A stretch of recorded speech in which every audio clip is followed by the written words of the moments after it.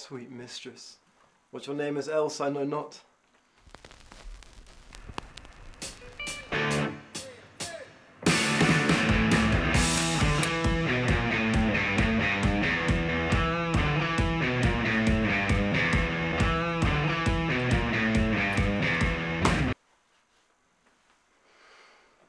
Are you a god?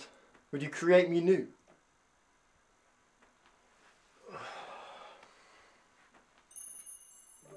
You are Antipholus of Syracuse. Would you create me a new, fairy godmother? Teach me how to think and speak.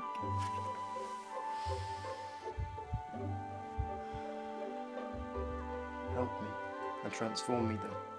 And to your power I'll yield. You are Antipholus of Syracuse, and that is it. Nothing else defines you. You are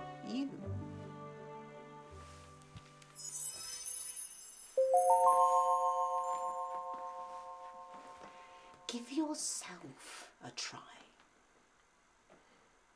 I am Antipholus of Syracuse.